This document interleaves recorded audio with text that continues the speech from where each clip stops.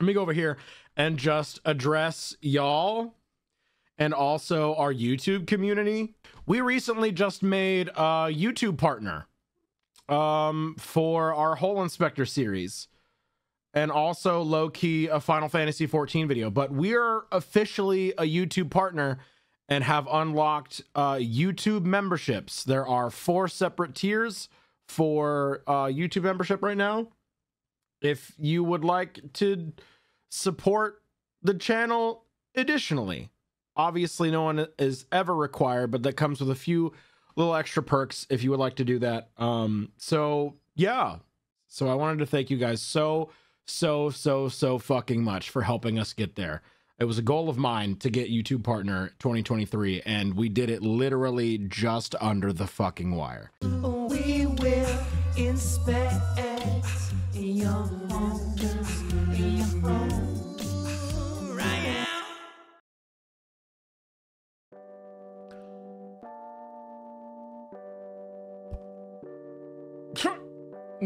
These next three. Oh, fuck. Okay. Wait a minute. okay. New Dicky going live right now. Am I the asshole for laughing at my sister in law and telling her I have zero desire to raise her child? How split is this, Dicky? What do we got? 5% asshole, 95% not the asshole. Beautiful. Uh, uh, this went, this turned fucking instantly. I, 44F, am married to my hubby, Jimmy, 48M, for over two decades. My parents died suddenly in a car accident 10 years ago. I have a younger sister, Abigail, 39F, with Down syndrome, and Jimmy and I are guardians. Abigail is my sweet angel on earth. When my parents passed, I was a working mother of three young kids, helping to build our family business with my husband. At first, Abigail lived with us full time. Jimmy has always been at my side with her care and loves her to bits. After a few months, we realized that my sister needed more attention than we could give her. There was just not enough time in the day. We discussed what would be best for her and decided to put her in a private adult home for special needs folks. It's very costly, over 10K a month, and comes from our own finances. That's so expensive. Fuck, dude. The facility does all sorts of activities and field trips. She loves her home, her friends, and the special days the facility hosts. We are always stopping by to either visit, sign her out on holidays to spend with family, keep her overnight for special sleepovers with the kids, or take her on every vacation with us. We never go more than 24 hours without one of us making sure she's okay. That's nice. Yeah, that that price is exploitative, 100%. Once again, capitalism is the asshole. Now on to the issue. I have a sister-in-law, Jenny, 42F, who had her first child after years of trying. Oh, Jesus fuck. Oh god. Okay. Golden child. No! She's become the typical first time mom who believes she invented motherhood and is openly opinionated about things she believes other parents fall short on. I mostly ignore her, and so does Jimmy. We hosted a barbecue at my house for Labor Day with my father in law, mother in law, Jenny, her husband, baby, and my kids. Abigail had a planned trip to the zoo and asked if she could go. Of course, we said it was okay. While we were eating, Jenny turned to me and asked me where Abigail was. Her tone was more accusatory than questioning. I simply didn't want to get into it with Jenny, so I said Abigail wanted to stay at the home. Jenny then turned to her hubby and said, See, this is why I. See, this is why it won't ever happen. My mother in law asked Jenny what she was talking about. Jenny, all snarky, said to the whole table, we did our wills last week and knew these two wouldn't be suitable as guardians of our baby if something happened to us. They tossed her sister into a home rather than be a f- real family to her. I won't let that happen to my child. Wow, in front of the whole fucking family, huh? You had some real fucking grievances that you decided to air out right now instead of using your words like an adult and having a fucking conversation with another person, huh? You had to stir up family drama in front of everyone for no fucking reason, huh? I didn't let it show, but I was extremely hurt she could say this. Instead of yelling, I laughed at her and said, Well, that's great news since I have zero desire to raise your kid. More was said, but that's the gist of it. Jenny left with her family, calling me nasty swear words as she walked out. I might have said a few swear words myself right back at her. It's been over a month now, and Jimmy is still getting nasty texts from Jenny demanding I apologize. My mother in law knows she overstepped with her comment, but is asking me to be the bigger person and say sorry to keep the peace. I refuse. Am I the asshole? You know what? You know what? Fuck being the bigger person. I am fucking tired of being the bigger person all the time. I'm gonna be the pettier person. Fuck you. Fuck what you stand for. I don't need to make myself smaller in order to placate to someone who's a fucking asshole. Fuck you. Don't be the bigger person. Be the fucking problem. Top comment here is not the asshole, and Jenny is a major asshole. If she had actual concerns, she should have talked to you or her brother. And if she had half a brain, she would see that sometimes living in a group home is better than with family who don't have the time or resources to properly care or enrich the life of a person with special needs. Sounds like you are still involved in Abigail's life and she's happy. That's what's important. Also, if sister in law does feel this way, she doesn't need to make it known and do it in such a hurtful and insulting way. Yeah. Yeah. Last last hole inspection. I can't just search mom. Chrysanthemum. Am I the asshole for using my brain injury as an excuse for not being able to remember anything? I was in a deadly car crash three years ago that left me in a coma for months. I'm physically okay now, as all the broken bones and stuff have healed up. Mentally, well, among other things, I have really bad short term memory loss. It's like 50 first dates. Or, oh, I can remember everything that happened leading up to the accident, but not what happened afterward. It's really frustrating to deal with. Yes, I'm in therapy before you ask. One of my cousins recently changed her name. Unfortunately for me, she picked a name that is very similar to her old one Chrysanthemum over Chris. I've tried to remember her name, I really did, but it's like everything else that happened after my accident. I will forget.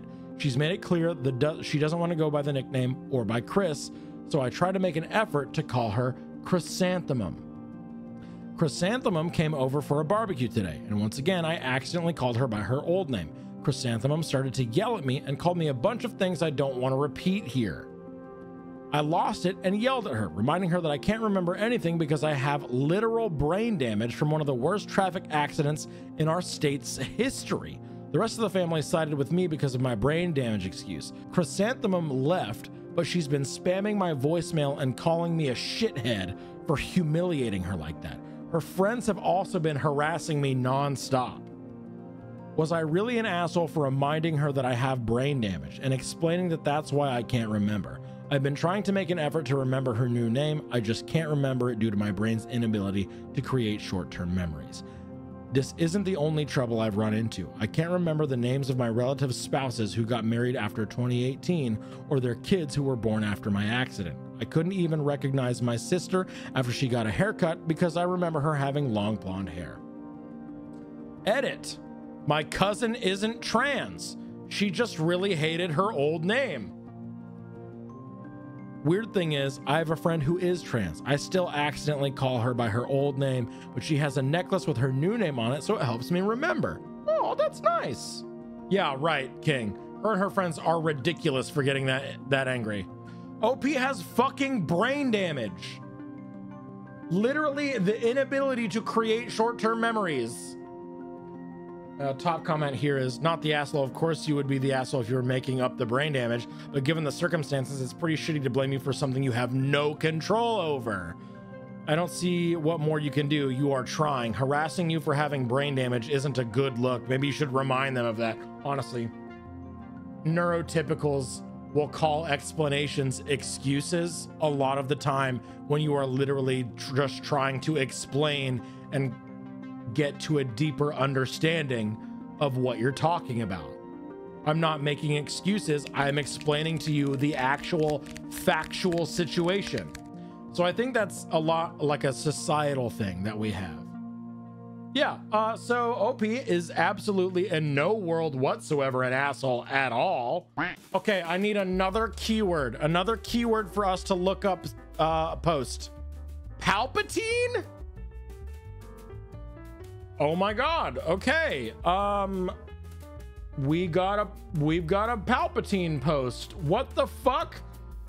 Am I the asshole for calling my mom a homophobe in front of my family? Palpatine. Yeah, this is a this is basically a freebie. There's no fucking way that you're an asshole for this.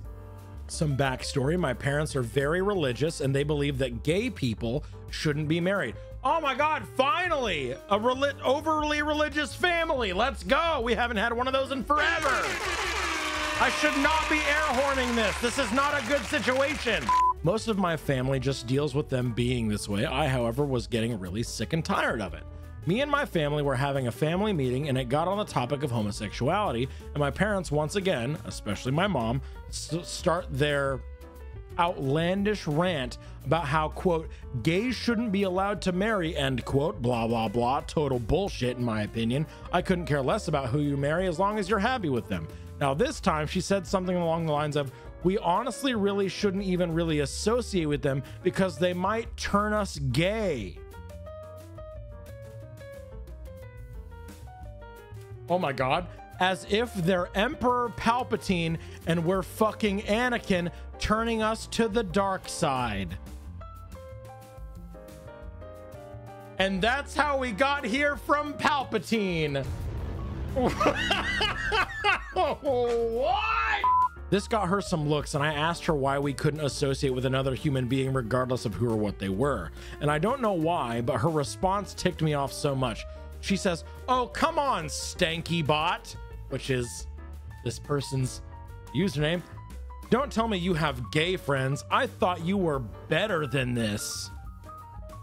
To which I yelled back, At least I'm not a homophobe and treat every human with respect. Treating people who are homosexual different isn't very Christ like of you. And I stormed off.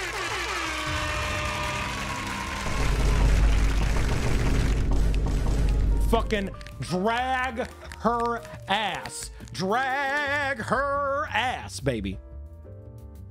I have not I have now received not one, not two, but five different texts from different family members telling me about how my actions have caused a lot of damage. Oh, go fucking cry about it. Oh, I caused some damage. My mom was the one fucking talking about how the gays were trying to turn her gay. What? The only person who thinks what I did was right is my older sister. Am I the asshole in this situation? Because it seems like everyone in my family believes so. Uh, edit for all of you kind people. I got my phone taken away for a while and my laptop, so I didn't have a whole lot of ways to communicate on the internet. I appreciate all the support. It means a lot to me, and my mom aren't on speaking terms still. They put a restriction on my phone, but I figured out the password. I'll try to get to all the comments now. Let's fucking go, Stanky Bot. Let's go, Stanky Bot. Stanky Bot's a good one. Get over here, Spody. Let me eat you. Let me eat you. Let me suck your juices. Come here.